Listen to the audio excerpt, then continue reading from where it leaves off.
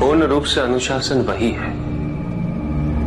जिसके लिए प्रयत्न नहीं करना पड़े। देव देव अनुशासन एक ऐसी आंतरिक अवस्था है, जो व्यक्ति के स्वभाव का, उसके संस्कार का भाग बन जाती है। जब अनुशासन एक कार्य प्रतीत नहीं होता है जिसे पूर्ण किए जाने की आवश्यकता हो उसी प्रकार,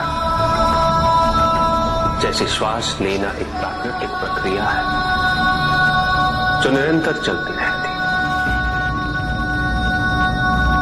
उसके लिए प्रयास नहीं करना पड़ता।